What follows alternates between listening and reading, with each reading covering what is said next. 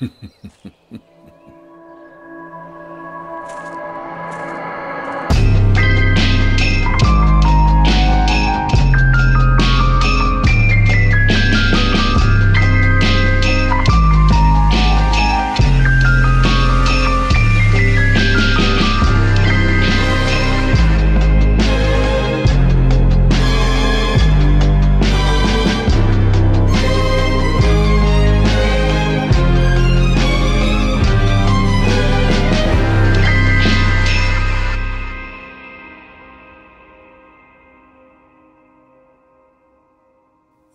is a video that I've been ecstatic to make for a very long time now.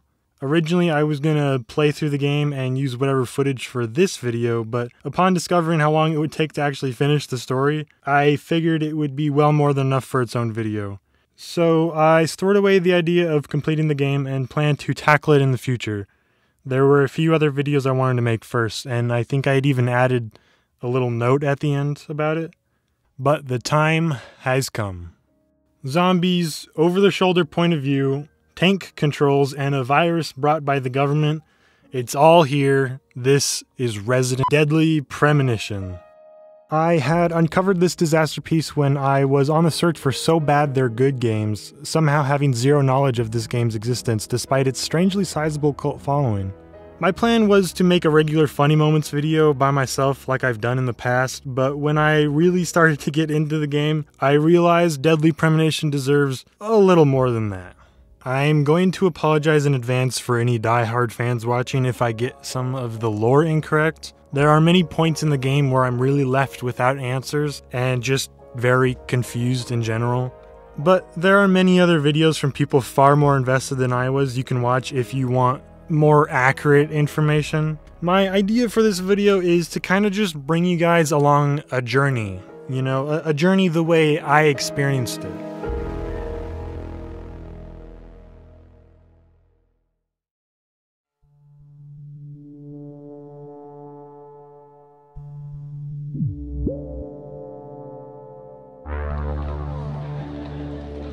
Developed by Access Games, Deadly Premonition's trailer first debuted under the name Rainy Woods at Tokyo Game Show in 2007, releasing for the PlayStation 2 and Xbox. Development first started in 2004 but was unfortunately cancelled shortly after the trailer's release due to technical difficulties with the game and the consoles it was going to release on. I'm probably not going to pronounce this name correctly, but Hidetaka Suehiro picked the game back up in 2008 as a next gen title for the PlayStation 3 and Xbox 360, renaming the project Deadly Premonition while still using most of the assets from Rainy Woods. The game would go on to be cancelled four more times until the official release in February of 2010. The port to PC, also known as the Director's Cut, didn't happen until 2013, and this is the version that I played on, of course.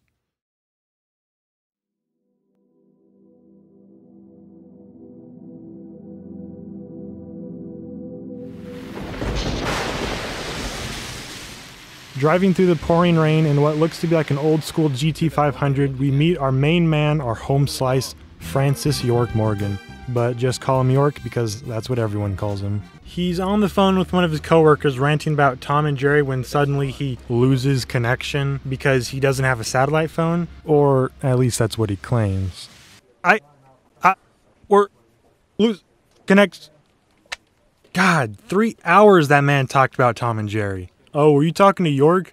Dude, the other day that man explained the Skyrim lore to me in its entirety. York's an FBI investigator on his way to deal with a homicide case out on the countryside of Washington state. The case involved the murder of an 18 year old woman by the name Anna Graham, and we learn that York communicates with some entity he calls Zach. At the very least, it would get me out of city for a while. Right, Zach? But more on that later.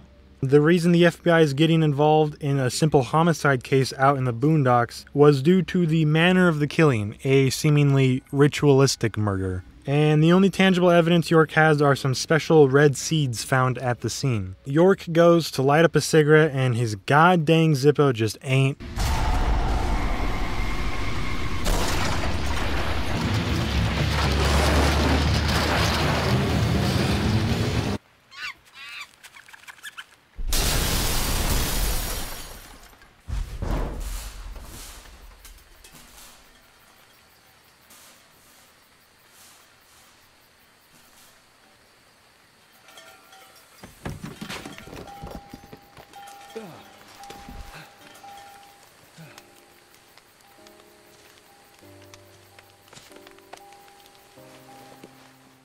With his laptop and phone broken, he is now completely cut off from the civilized world. We begin finding our way out of this mess, and also now there's fire because, mm-hmm, yes. Along with a gun case that you can store whatever items in. These cases were placed throughout the entire game in various locations, and I used them not once, but never. There was never a time I felt the need to use one of these. I was never tight on inventory. The only items you ever really have on you besides mission necessities, which don't even take up inventory space, are weapons, ammo, and food, which there was always more than enough space for, but I suppose it was nice to have the option. Anyways, we walk for a bit and notice a giant red wall made out of some branch like material. These were pretty much just this game's excuse for invisible barriers. We're introduced to York's profiling ability, and what he's able to do with this is examine a specific area and recover past events that happened in that area and kind of piece them together. It always starts off shady and blurred, but as you traverse and find however many clues that the game is telling you to find, the story progressively gets more and more clear. So I guess York is really, really good at his job in almost a supernatural way. It's never really explained how he's able to do this, but you know, it's a video game, so as you go around trying to find these clues and a way out, you're met with a zombie, which is actually your first clue. We go ahead and gun it down along with the others that have gathered around. And York really brushes this encounter off like he wasn't just attacked by the undead. Life is fun because of the mysteries. Right, Zach? But hey, life goes on, right?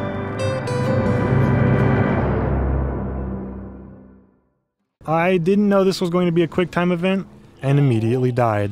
But when you successfully complete it, our mystery murder kind of just waves his finger like, no, uh, no, you just didn't, and turns around to run away, which means we get to escape, I guess.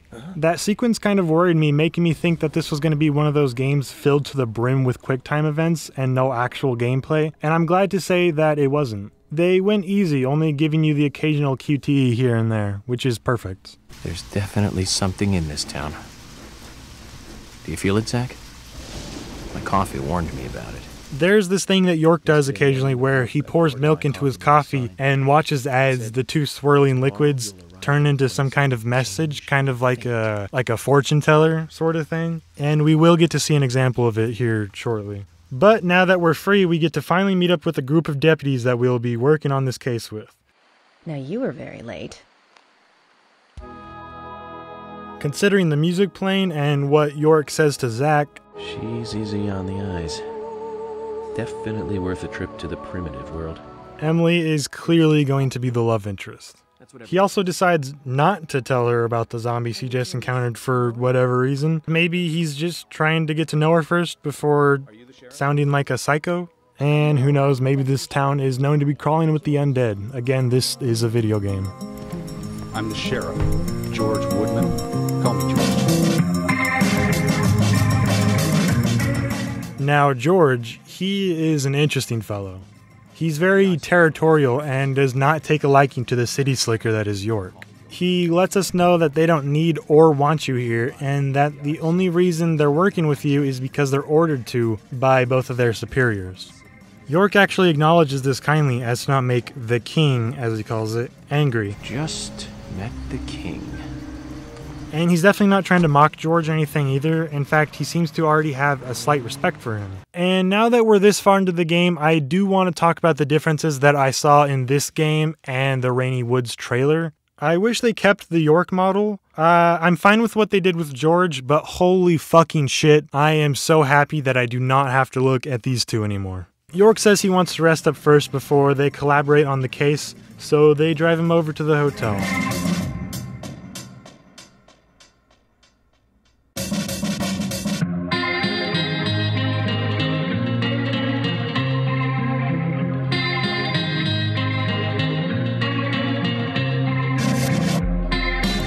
When he wakes up, he talks about his dreams becoming more and more intense and the symbolism getting stronger. Heading to the cafe area for his morning cup of joe when we meet the hotel owner, Polly Oxford, who has the most horrendous posture I have ever seen.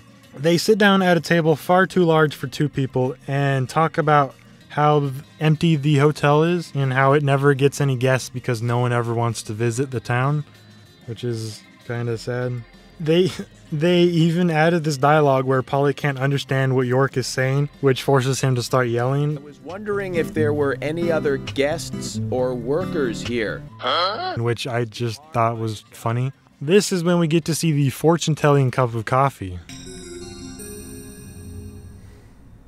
Did you see that, Zach? F K in the coffee. I knew I could count on it. Never fails. Now then, Afterwards, we find that George has prepared a police cruiser for us, along with a note telling us when the sheriff department is open. And it's when I begin driving I noticed the game is actually open world, which was quite a delightful surprise. This is probably the best time to talk about some of the mechanics this game offers. Of course, we have the regular stuff like sleep and hunger, which, if not taken care of enough, will leave you with worse stamina. 35 bucks for crackers? Then we have things like shaving, which I never did because York looks way better with a beard, and cleaning your clothes, which I found out because apparently if you don't wash them enough, you get these flies that buzz around you, which is funny because I'm pretty sure they don't nerf you in any way like sleep and hunger do, but they do still work because they are genuinely annoying as fuck. Then you have these smaller details like being able to check the weather, blinkers, gas, and also egg and microwave. We'll put the egg in the microwave. But my favorite mechanic is the time. The world runs on a regular 24 hour format, which directly affects your ability to start most of the missions because, for example, one of the missions you have to meet up with an employee working at a diner, but we have to wait for the diner to close around 9 at night in game because said employee is worried about getting in trouble. Of course, you don't have to just wait around either. It works hand in hand with the sleeping mechanic in order to instantly progress time. I really wish more games implemented details like this because it really makes the character seem human and the world alive, you know? I just love when games add small menial details that don't necessarily change the gameplay, but are there just to be there. We drive by the department and inside we meet Thomas and oh Oh my god. There is so much I could say about Thomas right now, but for now we kind of just know him as this like shy, flamboyant type of guy who's very nervous because this is his first big case. He says that George wants us all to meet in the conference room, but first we need Anna's file, which Thomas has seemed to misplace the key for the cabinet it's contained in. So I'm looking for this key and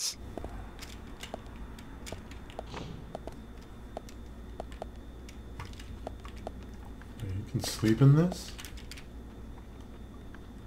No way. Get a good 12 hour sleep. Agent Morgan, it's time to close the office. Oh, Review the files tomorrow. yeah. Uh, yeah. the first day is going great. I slept through all of it. The time, it only makes sense. It's going to close down, right? That's how things work. This is when I discovered another fantastic little detail. Because the workday was over, Emily and Thomas actually went around back, got in their cars, and drove home.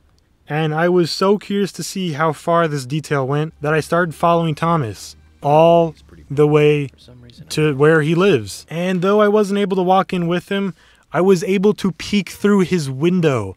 And this motherfucker started dancing. That is, of course, where I drew the line. So I got back in my car to head back to the hotel. And on the way back, I pull up on something that looks to be some kind of like race minigame thing. Hell, I had some time on my hands, so why not? Turns out it was a checkpoint time trial challenge, and the reward for completion was a card for Keith Ingram. I didn't know who he was, but yeah, I don't know. I seems like a cool guy, I guess. We wake up the next morning, and at the department, I actually do the things I need to do and meet the others in the conference room. We start discussing details about Anna. Her dad died in a lumber mill accident, lives with her mother, wanted to be a beauty model, yada yada yada. George walks in and says the autopsy is ready. That's a pretty big hospital. Fiona, the receptionist, says the doctor is ready and waiting for us in the hospital computer room. He wasn't, but what we do find is a key card to the autopsy room, which we get access to only if we complete a little puzzle he set up for us. So, imagine this you're a doctor who now has the body from the most important homicide case this town has ever seen, and you think a good idea would be blocking access to the body the FBI is so urgently trying to investigate behind a puzzle. Very smart.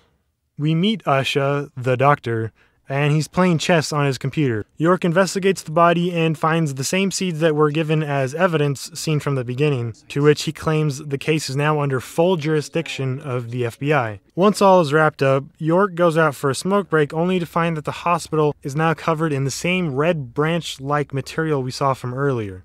Zach, they're here. Assuming he means the zombies?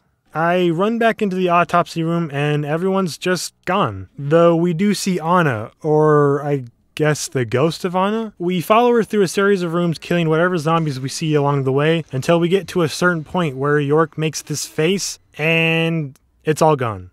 And things just immediately go back to normal. He doesn't seem very freaked out, and no one else does either, so I assume he was the only one that was able to see that. I guess maybe it was just some kind of psychotic episode he was having. But no matter, because now we're met with Harry Stewart. He's got some bank. Apparently, he owns most of the town, and he's the kind of guy to speak very vaguely and in riddles. Mr. Francis York Morgan. Haste won't lead you to what you seek. He tells us about how when it rains, the town goes mad. George writes this off as nonsense and tells us not to believe the old man. And this is when Emily gets a call from Thomas saying that the first witness of the murder is finally ready to talk. We meet Jim Green in the park where it all happened. Jim is the warden of the forest and apparently a tree surgeon too. Well, I used to be a tree surgeon. What the fuck is a And tree surgeon? discovered- He decided to bring his grandchildren along, who seem very unscarred for a pair of kids who witnessed a corpse hang from a tree, but I guess country boys built different. York wants to talk to the kids first because he knows children will notice things that adults won't, which is pretty smart, not gonna lie. But then Jim defends them because he thinks it's unethical for whatever reason. He eventually allows us, and Anna, she was so pretty. She had a red dress on. Her hair was shining. Bright gold hair. they don't say anything useful in the slightest. Because these people failed to provide us with useful information, we're left to search the area for clues. We uncover knee indents in the ground, which George thinks it was because the killer was doing something sexual with the body, but York corrects him and says that the killer was actually praying to the body. You know, the reason the FBI is involved in the first place? Another clue we find is stiletto heel prints. As Emily brings an ashtray over to York, which I thought was a pretty cool character development because if York is known for anything, it's how much he smokes. Oh my god, York smokes so much in this game. She explains that Diane, the owner of the town's art gallery, would be the only person to wear high heels out in the forest because heels are literally the only thing she wears. Though she's out of town for an auction at the moment, which was no problem because York has another problem to deal with first. Which brings us to our third clue. York found quite a bit of rusted metal near the body, and that paired up with the dry tear marks we find on her cheeks in the autopsy room means that she was killed somewhere inside in a place with an abundance of metal. The old lumber mill. I'm going in alone. You two stay here. I can't concentrate on profiling with other people around me. Now hold on a minute. We're investigating this case together. Listen, I can't risk the crime scene being compromised by you two. Emily and George obviously don't like this, but have to accept it now that he's in control of the case. We walk in a little further to see that this place is also covered in the red branch stuff and also has zombies. And because he's in here alone, I still don't know if anyone else knows about this stuff. Turns out our little mystery murder is here with us, which compels York to go in deeper, and of course, the game tasks us with finding a few clues. We get a call from our boy saying, Where are you hiding? as if he wasn't the one that just ran away from us. This is when we find our first weapon other than the handgun that we started with the submachine gun that holds a whopping 180 bullets per magazine. Which makes this next part where we're trapped and forced to fight numerous zombies not quite as scary because along with the submachine gun that holds twice as many bullets as an LMG, we're also given melee weapons that literally one-tap enemies with the downside of having unforgiving durability. Yes, I'm talking about the steel pipe, the golf club, and the goddamn crowbar. There were quite a variety of events in this part of the game that I found to be very odd. Firstly, we take this elevator that is clearly far too tall to fit in this building. Then we have to hide from the killer as he patrols around the room, and oh my god, he's so fucking slow. And no, this is not the only time this happens. But he ends up finding us anyways, which puts the player in a segment where we have to run down these hallways with boxes, and instead of running around them like the smart adult he isn't, we push them for absolutely no reason at all. Why am I pushing boxes?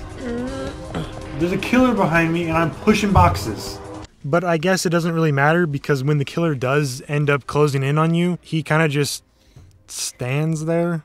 As he goes to throw an axe at us, we dive out a door, and uh, the axe would have definitely still hit us, but I guess it didn't really feel like it because it just stops in midair. You would think that's the end, but no, he does come back. And to deal with this problem, instead of shooting the killer, he shoots the elevator controls, which sends him away. Okay, then. We exit the lumber mill to show Emily and George, who I guess have just been standing here the whole time, the evidence we collected, which was a chunk coming off a raincoat. Emily finds this strange because no one buys raincoats or even goes outside when it rains, but she doesn't know why. She moved into town not too long ago, so she's unfamiliar with the traditions. George explains that it's from the old story about a killer roaming the streets when it rains. They called him the Raincoat Killer.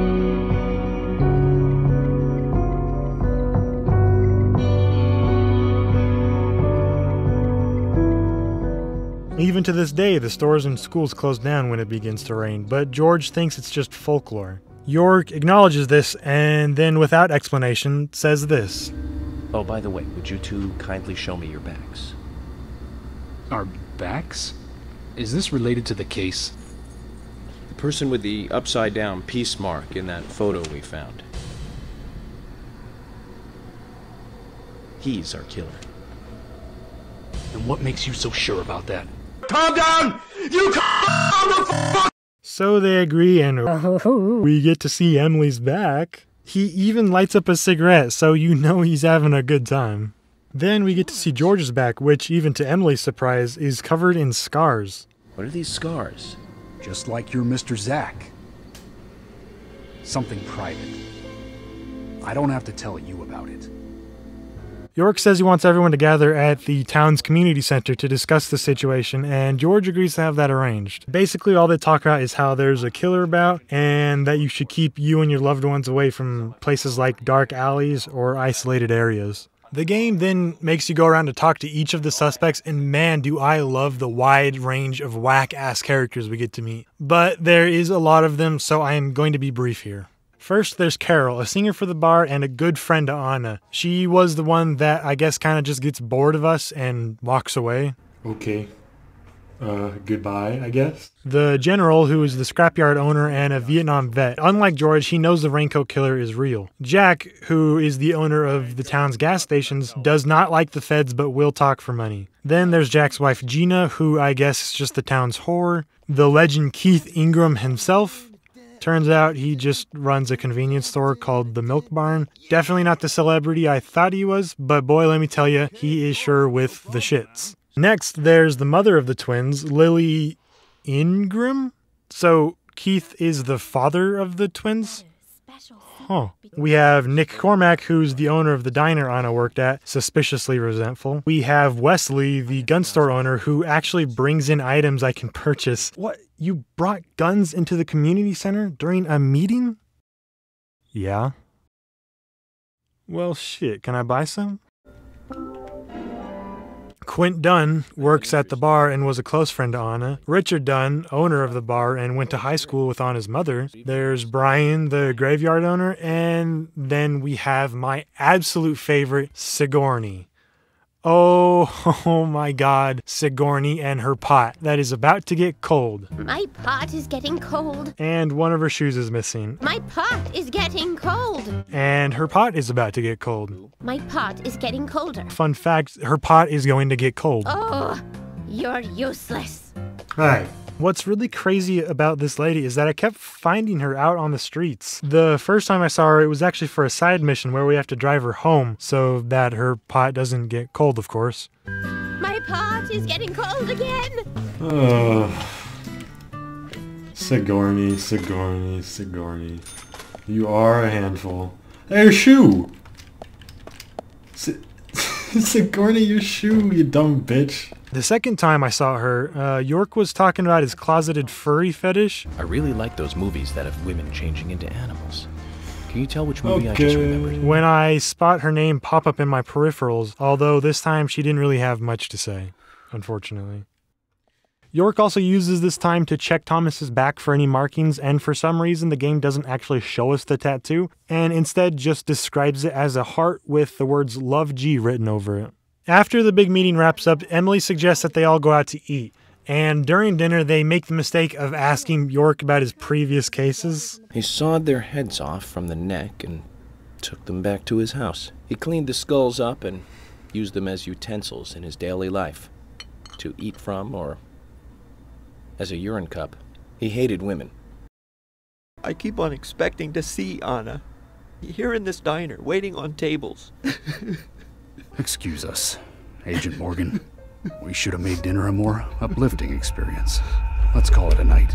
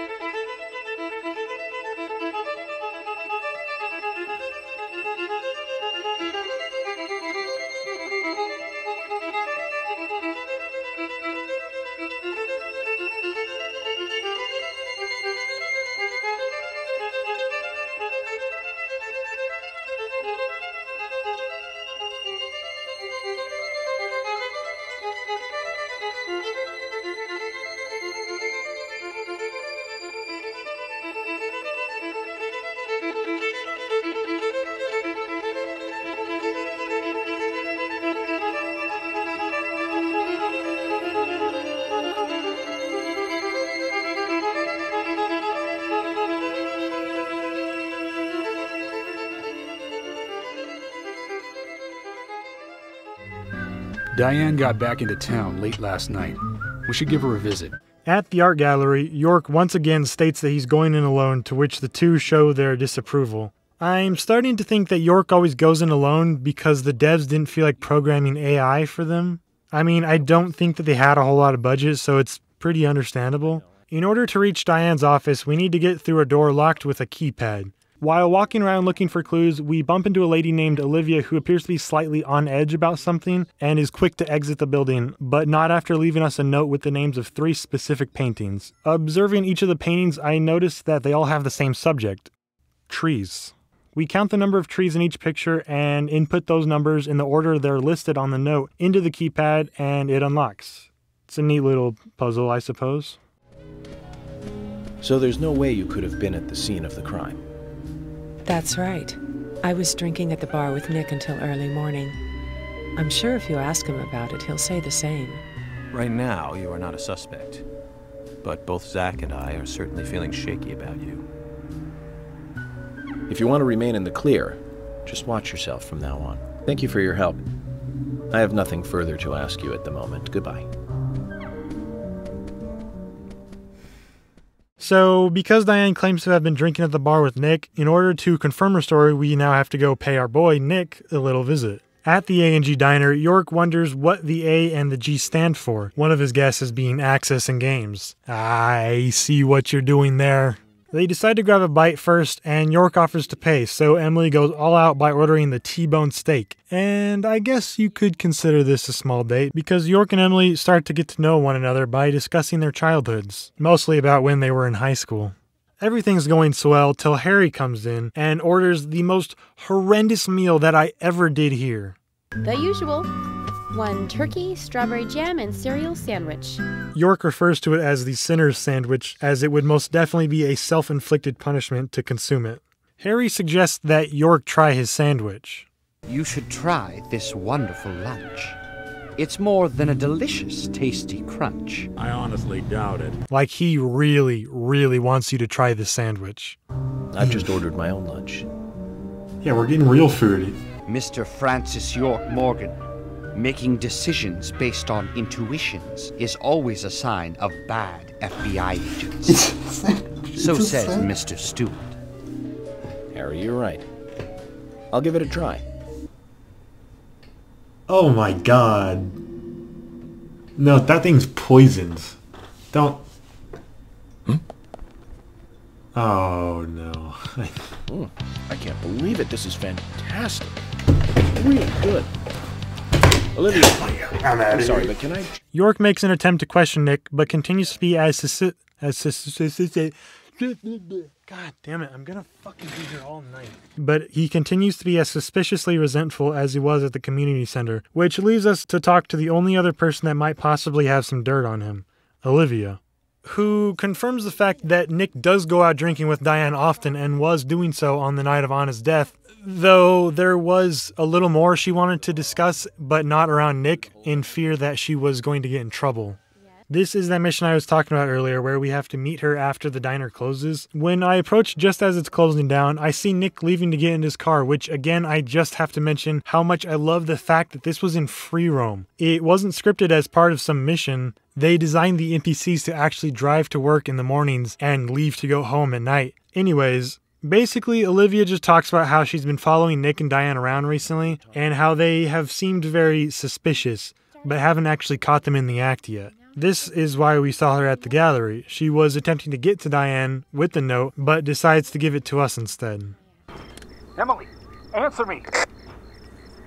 This is Emily. Agent York is with me too. I've just received word from Thomas at the sheriff's department. Something has happened at Becky's house. It was called in by Quinn, but he wasn't making any sense. So, you're probably wondering who Becky is. She was apparently Anna's best friend, and so far the only time we've seen her is in the intro to the game. We try to talk to Quint, who's seen outside her house, but he seems way too distraught to say anything. Did you see the raincoat killer? Whoever his voice actor is did a fantastic job at making Quint seem genuinely destroyed about whatever happened to Becky. In fact, the entire game has pretty okay voice acting. Yeah, there are several parts where it gets kind of stupid, but overall, it's not bad. Not good, but not bad. When you finally enter the house, it's pretty much what you would expect. You got the red branches, zombies, linear path, raincoat killer who you hide from, and oh my god, it's just the same exact thing. We even do the silly dive at the end. We make it to Becky's room to hear a shower running, so we investigate.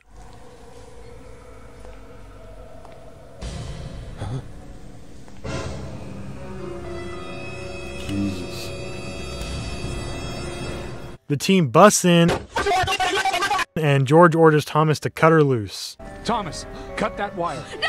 We must get her to the hospital immediately. What are you doing? Get out of the way! I'll do it! No, don't! George, stop!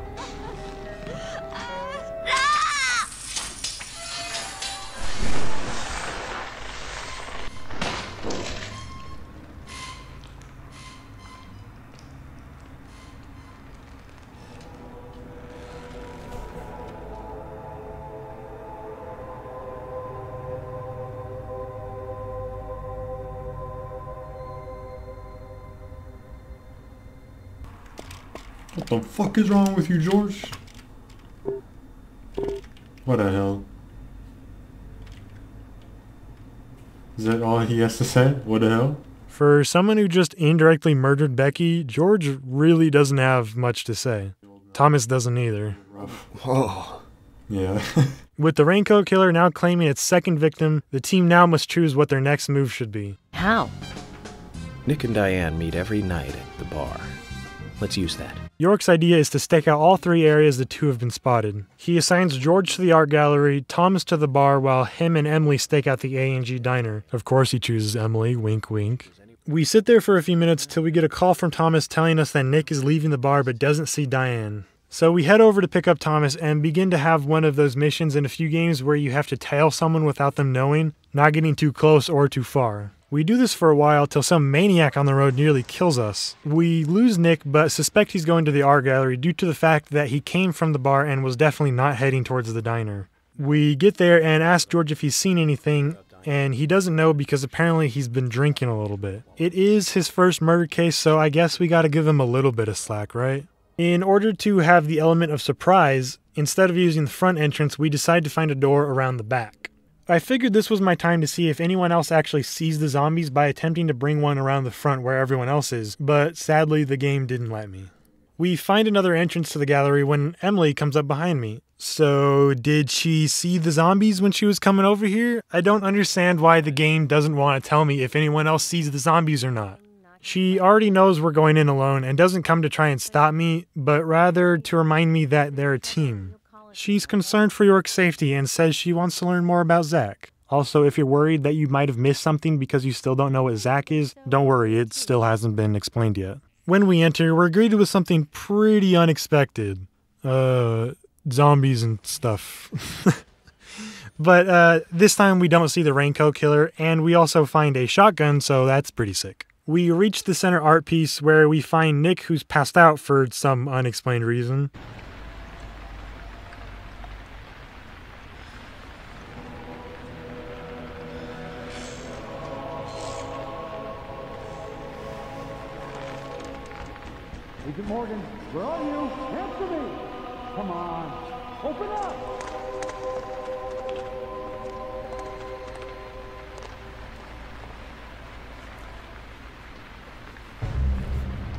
If I were any of these guys, I'd be suspicious of York because this is now the second time that they've come in on him, just like with the victim. Diane begins to slip, and George, being the big hunk that he is, tries his best to move the structure, but it's just not budging. So quickly, York does the unthinkable.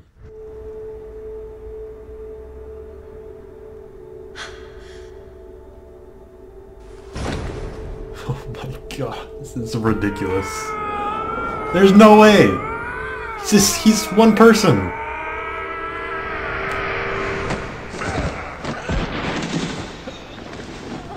When everyone starts recovering, Diane stands up and uh, does this.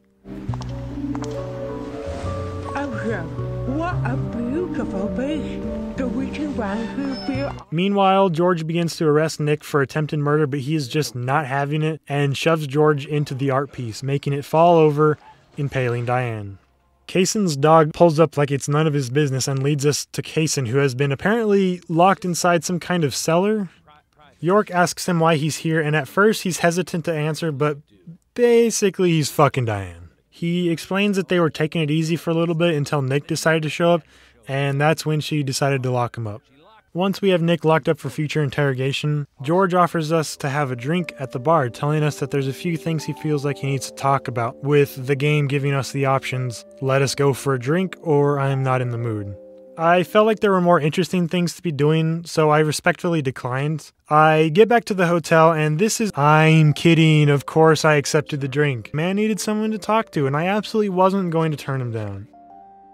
Here, George really starts to open up to York by discussing his troubled past when questioned about his scar. When he was a child, his father left, and asking his mother why would result in a brutal beating. Even just slightly stepping out of line, he would get tree branches to the back, his voice now becoming shaky, though this isn't actually what he came to talk about. He believes the death of Becky and Diane were his fault, feeling like a failure to his mother and now a failure to society as a deputy who's supposed to protect. This whole ordeal has really done a number on him, and it's crazy to think that I actually made fun of him for not saying anything, when in reality he was trying his best not to break down. And you really can't help but to just feel bad for the poor guy. Emily decides to join them, but George says he's done for the night, which leaves the two of them to have, I guess, a second date sort of deal. After they weirdly stare at each other for a while, they begin to head out. Emily thanks York for the good time. York puts a lit cigarette back into the box and they depart. We're back at the hotel and kind of just reassessing what happened tonight with Zach when we get a knock at the door. Emily? What's going on? Do you know what time it is? I'm I'm sorry. I I couldn't sleep, so I was drinking alone. I suppose it was York's turn to talk about his childhood, which he does, and then Emily asks him, Who's Zach?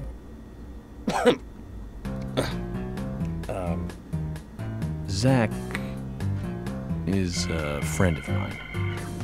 A long time ago. Back when I was a child.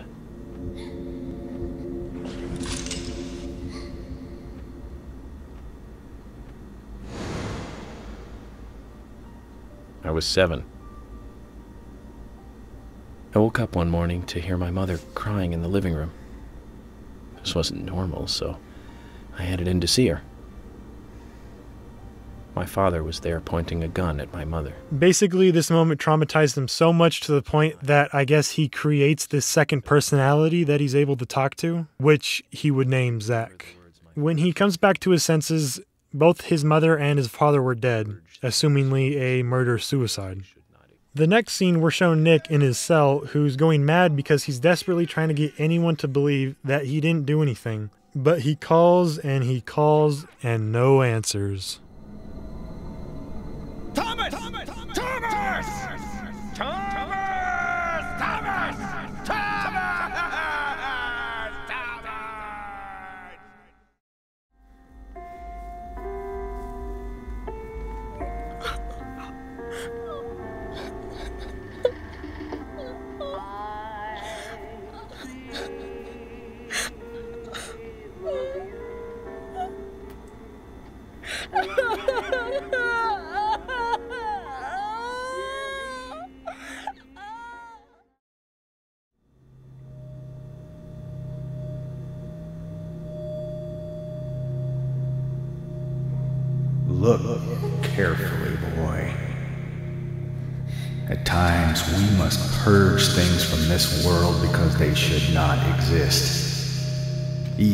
Means losing someone that you love.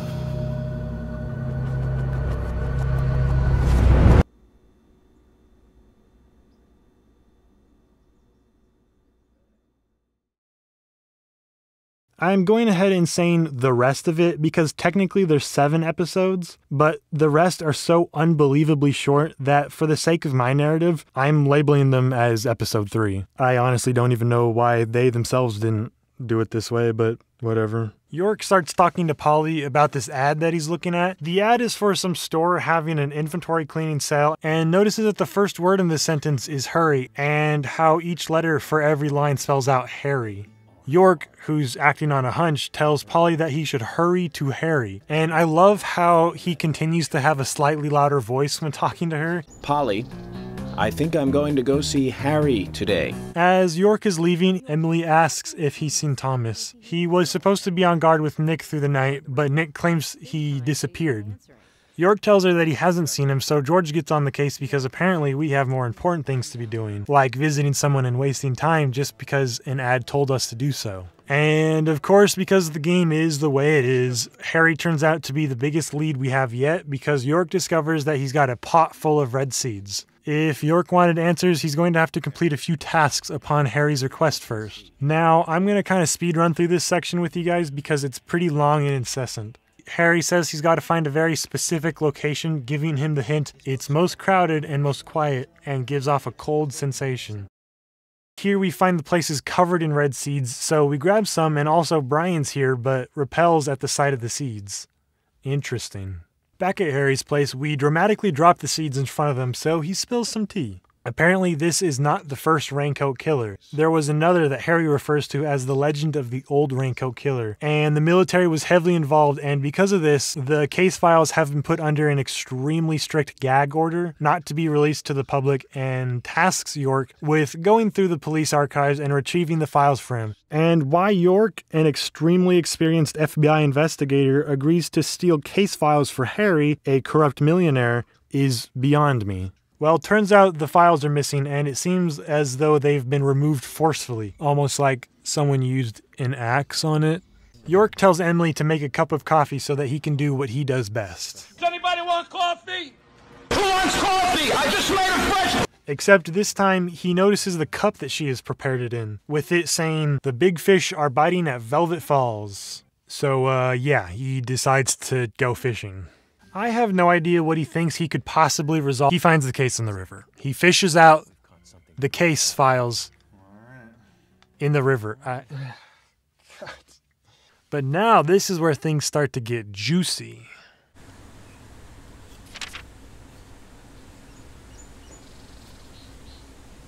What does that all mean? It's called The Legend of the New Raincoat Killer.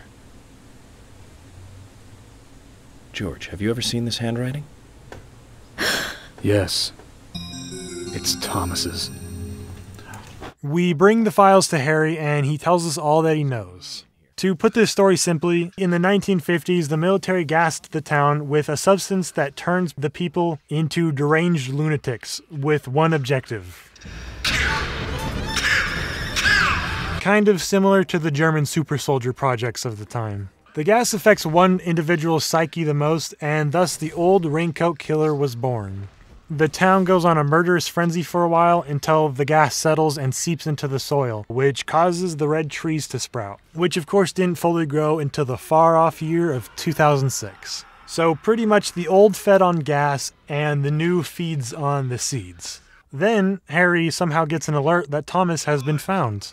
George claims to have received an anonymous call that Thomas was spotted inside his home, but it seems as though we were too late to catch him, so we begin profiling, which reveals something interesting. George and Emily depart to seal off all exits in town. Also, now the town has gone full sicko mode with branches, zombies, and dogs? So, I'm assuming the others know about this stuff now, right? I mean, they kind of have to now. They had already booked it, so I couldn't really confirm anything. We find the sex dungeon that Thomas is bunkering in, with, of course, the aid of uh, Ghost Anna. And just as he's confirming his suspicions,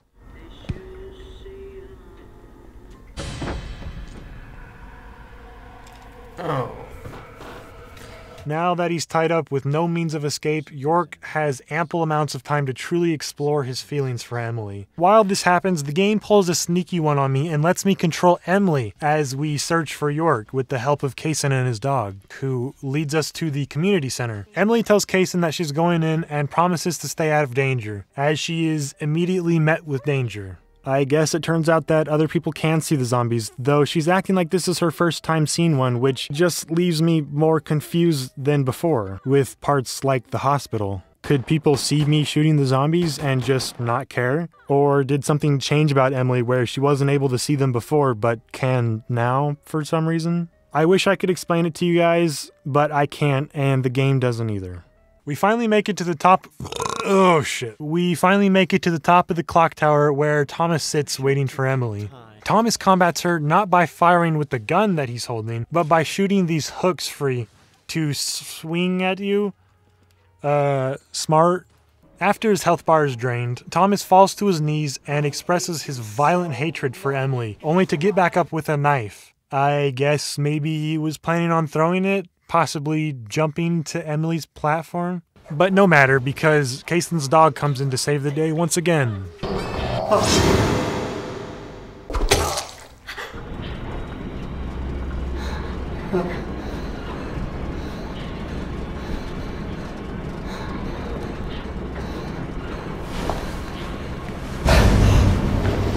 Thomas!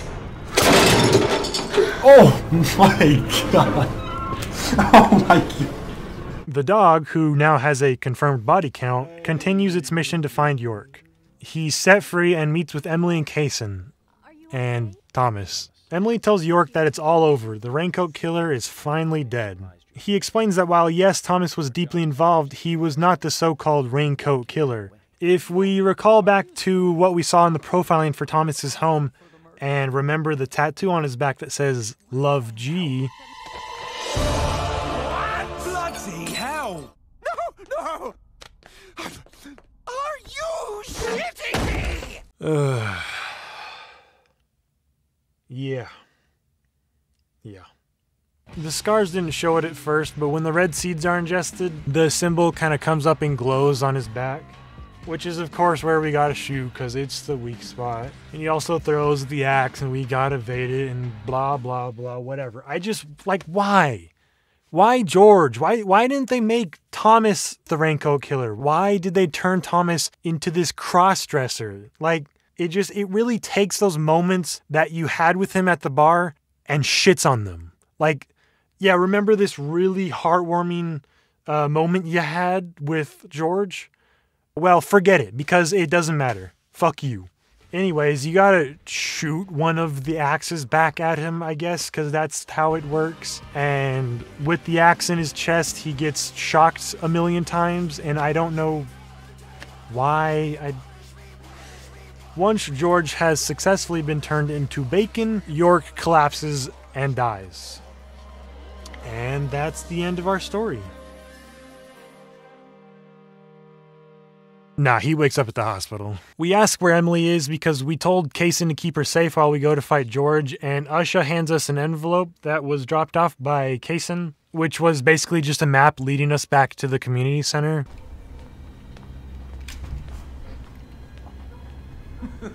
and finally you arrive, York. Oh my. George is dead.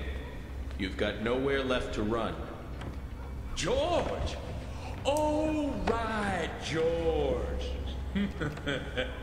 he was a funny one. Oh wow, Kaysen's a bad guy. Who uh, who could have guessed? So apparently Kaysen has planted one of the trees inside Emily. And wow. Shoot me. Emily? Let me die. Please. Being absolutely traumatized by the scene in front of him, he has this big flashback to his parents' death. And apparently Kaysen was there and he had planted a tree in his mother and Oh, it's so fucking ridiculous. It's so poetic. York is in the same fucking situation that his dad was in, and now he's forced to shoot his mother. And, and as the little nonsensical cherry on top, York remembers that he actually traded places with Zach. I'm trying my best to tell you guys in a way that I guess makes sense. I don't I don't know. We go back to real time where we see that he has switched bodies with Zach and now Emily is referring to him as Zach. So I I guess he was Zach the entire time. But like here's the thing, it doesn't matter. Like he's still in the same situation, still acting the same way that York did. Switching bodies didn't do anything at all. You would think by adding such a drastic change that it would like alter the situation somehow, but no. There was York and he was confused and traumatized and doesn't know what to do. He switches bodies and now he's Zach and he's confused and he has to shoot Emily and he doesn't know what to do. Okay, whatever. He's Zach now, all right? So that that's just what it is. He's Zach now. We're given three options. We either shoot Emily, shoot Kaysen or shoot ourselves. But you see, here's the thing. I tried shooting myself. I got a mission failed. I tried shooting Kaysen and he literally just shrugs it off. the only option that progresses the story is to shoot Emily. And he doesn't even shoot Emily. He misses on purpose because he's just like, I can't do it. I can't shoot Emily. I can't bring myself to shoot Emily. So Emily takes the initiative and fucking pulls the tree out of her stomach. And oh my god, the amount of blood that comes out of this bitch. Kaysen is obviously not too happy with this, and this happens.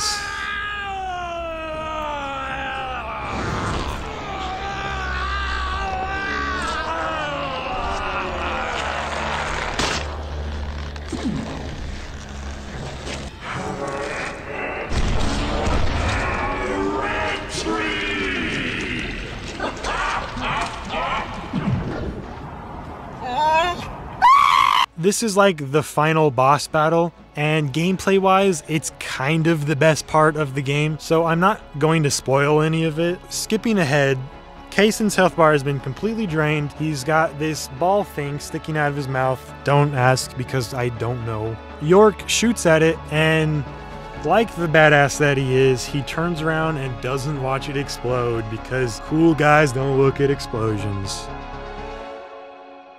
Afterwards, we kind of have like this little victory lap sort of thing where we go around talking to each of the characters for the final time. Polly being the last one as we're signing out of the hotel. That's when your, uh, I mean, Zach, finally decides it's a job well done.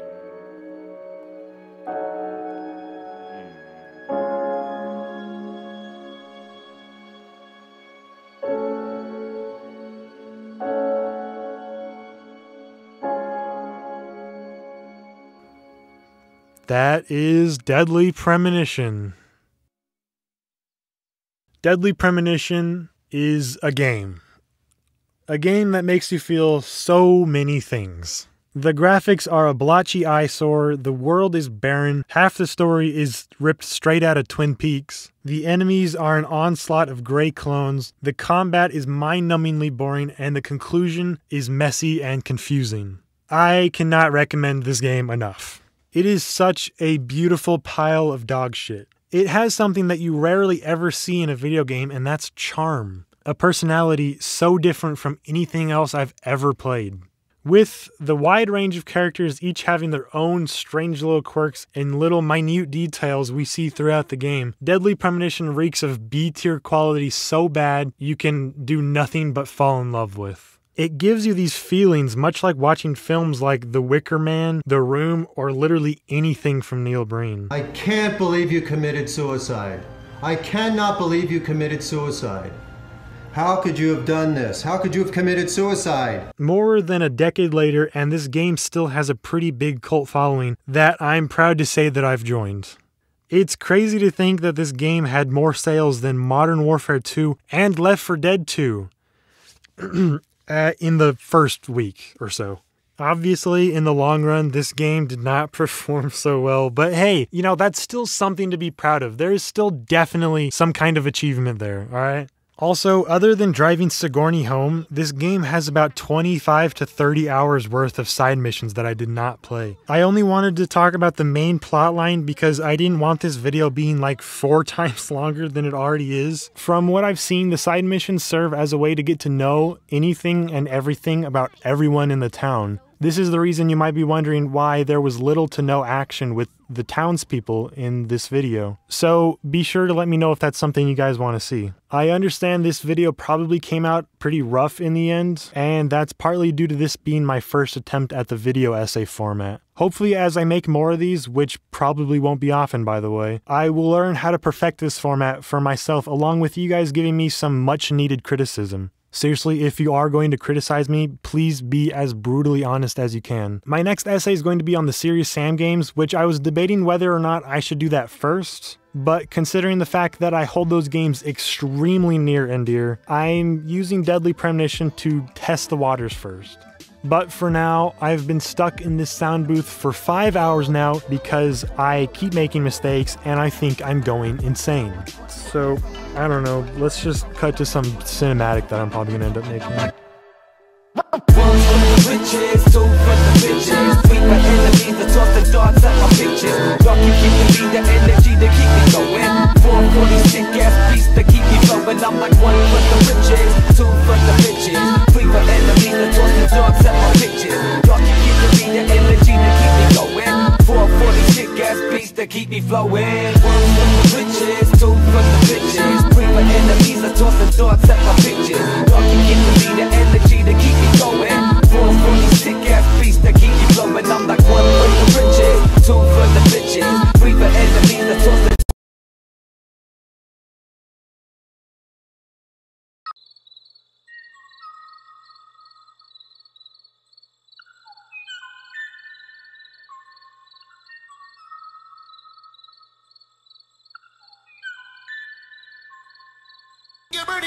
Get ready to swung.